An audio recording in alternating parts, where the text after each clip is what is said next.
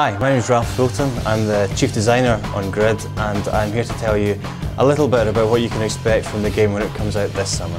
Grid is a racing game which is actually about racing. In developing it we've been focusing on everything which can happen between the starting grid and the checkered flag in order to create the most exciting race experience possible.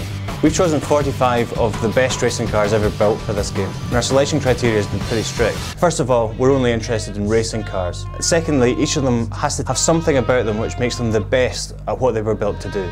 Crashes and car damage are an important part of racing, so they have to play an important part in a game about racing. That's why we've spent the last year refining our car damage and deformation systems in Grid. The engine behind the game is an evolved version of the engine which powered Dirt. It's called the Ego engine. You can see an even greater level of visual detail in the environments we've created. And we've also updated the engine so it deals with features which Dirt didn't have. Nighttime racing, for example, or fields of up to 20 cars. Racing AI is something we have over a decade's worth of experience in doing here at Codemasters, and I think it's something we do really well. Every AI driver is aware of the whole track, and which bits of it they use is determined by the kind of driver they are. They genuinely race each other as well as the player, and they can make mistakes, from simple braking misjudgments to huge errors when overtaking. And it's this that makes the race experience so exciting.